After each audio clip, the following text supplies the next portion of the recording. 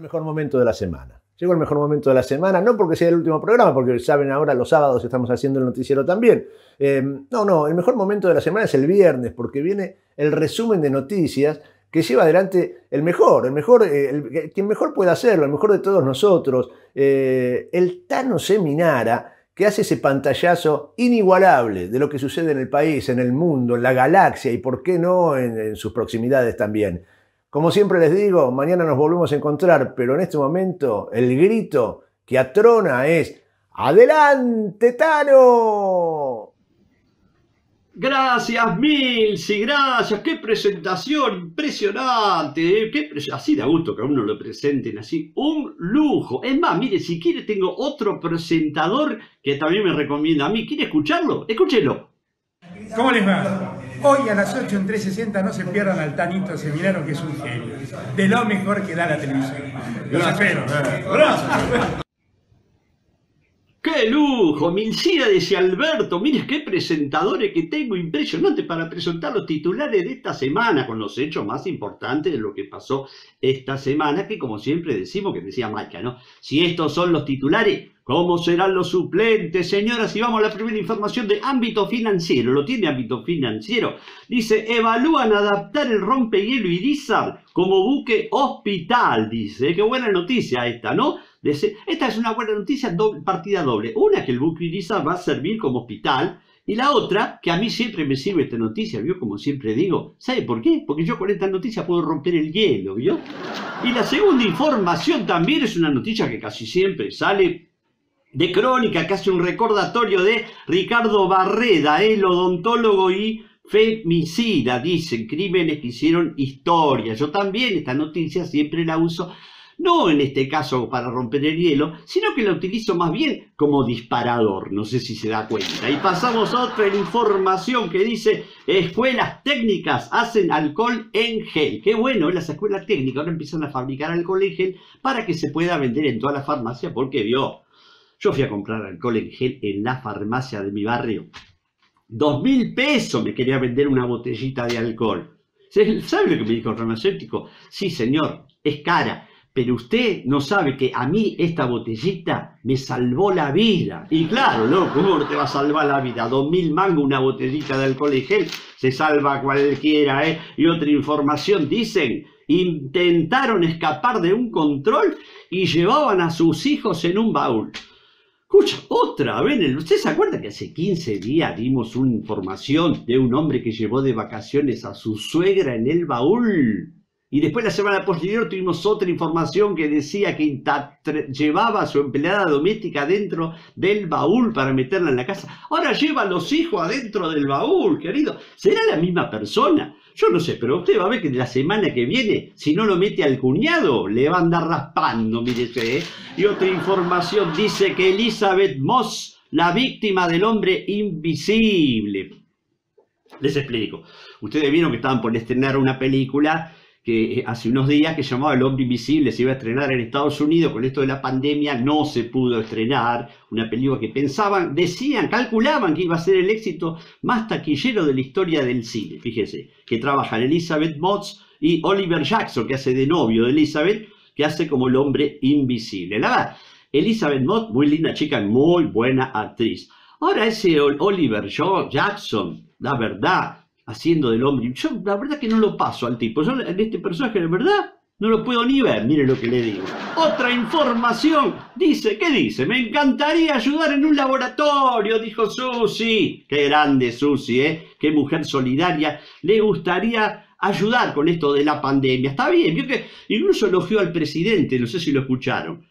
Dijo que el presidente está actuando muy bien y que para ella es un genio como está actuando. ¿Te acuerdas que la semana pasada había dicho que su empleada doméstica Dolinda era una genia porque sabe prender el horno? Se ve que se enteró que Alberto debe saber prender el horno también y dice, yo quiero ayudar como pueda, dice, quiere ayudar como pueda, está bueno, decir, buscarle la vuelta, ¿qué puede ayudar Susana? ¿Qué sé yo? Busquémosle algo. Yo a mí se me ocurre algo, no sé, con todo respeto lo digo, cerrar la boca, por ejemplo, con altura, es suyo, te quiero. Otra información, dice que desopilante Graciela Alfano vive una increíble historia de amor con un vecino en cuarentena. Escúcheme, cuarentena, no cuarentó. con un 40. En el balcón de su casa al lado había un vecino, empezó a trabar relaciones y surgió un gran amor. Qué grande esto, qué lindo, ¿no? Porque, digamos así, hoy medio que parece que todo pasa por la política, pasa por, por los balcones.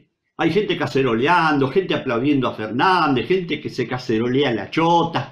Sí, que no, sí, sí, cacerolea se puede decir, sí, sí, no. Y, hacen de todo ahí en el balcón. Pasa todo por ahí. Un trompetista del Indio Solari tocando la marcha peronista. Quiere decir que hoy la política, mire, ya lo resumiría así. La política argentina está para alquilar balcones. Miren lo que se ve.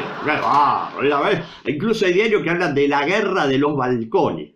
Hablan de la guerra porque, viste, entre la grieta ahora se armó ahí de los balcones y se habla de una guerra. Yo igual leí una cosa. Yo prefiero la guerra de los balcones y no la guerra de los Balcanes, es lo que te digo. ¿eh?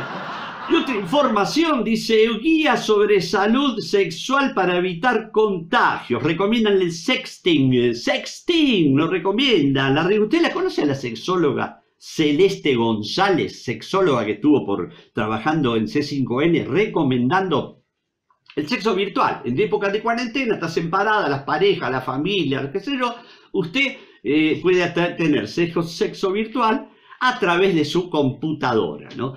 Eso sí, usted tiene que hacerse un poco los ratones en todo esto. O digamos, no, porque si la computadora, más que los ratones, tiene que hacerse el mouse. ¿ve? Usted se hace el mouse y ahí más o menos la va llevando por adelante. No es fácil. A mí me enseñó mi amigo Puliese. Usted sabe cómo tiene que hacer. Usted agarra, agarra el mouse y va moviendo la ruedita despacito, despacito, cliquea barria espaciadora, despacito, de barria espaciadora, cliquea en la tecla punto, cliquea en la tecla G, le cliquea en punto, punto G, punto G, y ahí ya lo tiene, usted se da cuenta cómo es que va, todo por internet, señor. Yo tengo un amigo que abrió la computadora y le dijo a la mujer, che, vieja, dice, mira qué cosa rara, abrí la computadora y me salió un cartelito que dice, alargue su pene. Ah, sí, viejo, dice, mira que yo no conté nada. ¿Cómo se entera uno de las cosas? ¿Y qué va? Otro peor, ¿sabe lo que dijo? dice, che, vieja, ¿sabe qué cosa? Ayer soñé que mi pene me hablaba. Ah, sí, y anda a jugarlo al 48, viejo, ¿qué va? Los consejos de la sexóloga Celeste González, que era sexóloga en el canal de Playboy. Yo nunca lo miré, ¿eh? No, miro esa cosa, ¿eh? Playboy con Nino Dolce. Trabajaba. ¿Y sabe qué recomendó también?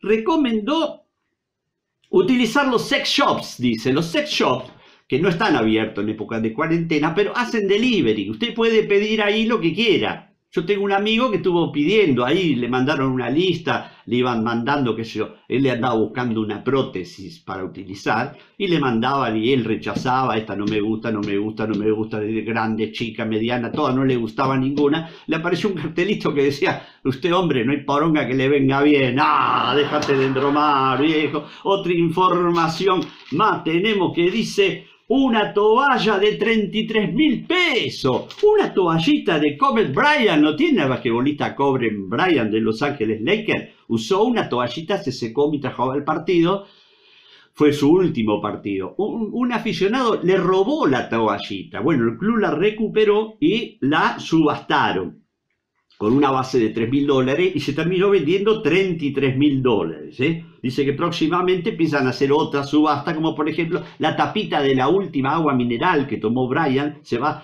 a sortear en, se va a subastar en 265 dólares. ¿eh? La camiseta número 24 que usaba Kobe, ¿eh? que en la espalda tenía un escupitajo de Michael Jordan, 17.425 dólares, mire ¿eh? El soquete izquierdo de Brian, succionado por el presidente de Los Ángeles Lakers, 8.555 dólares. ¿eh? Y por último, el slip con palomitas, que utilizaba Kobe Bryant, 8.359 dólares, que tiene como 8 palomitas, le sale 1.000 dólares la palomita, más o menos. Sí, y esto fue todo país, desde acá, desde Caballito, Buenos Aires, República Argentina, para Urbana TV, del barrio Carlos Mujica. Volvemos a estudio, quédate en tu casa y no te pierdas la programación de Urbana TV. ¡Hasta pronto!